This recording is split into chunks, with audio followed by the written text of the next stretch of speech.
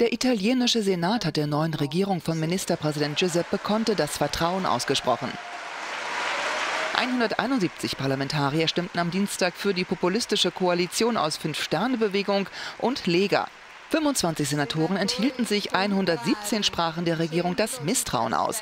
Das Ergebnis war angesichts der Sitzverteilung erwartet worden. Zuvor hatte der neue Ministerpräsident um die Unterstützung für die Pläne der Regierung des Wandels geworben. Sie wolle der illegalen Migration einen Riegel vorschieben, die Öffnung zu Russland vorantreiben und die Staatsverschuldung durch Wachstum reduzieren. Die Senatoren klatschten und jubelten teilweise so laut, dass die Kammerpräsidentin einschreiten musste.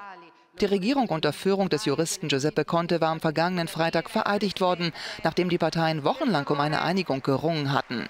Die Regierungsbildung klappt im zweiten Anlauf. Am Mittwoch steht die Vertrauensabstimmung in der Abgeordnetenkammer an. Dort haben die beiden Parteien eine noch klarere Mehrheit als im Senat.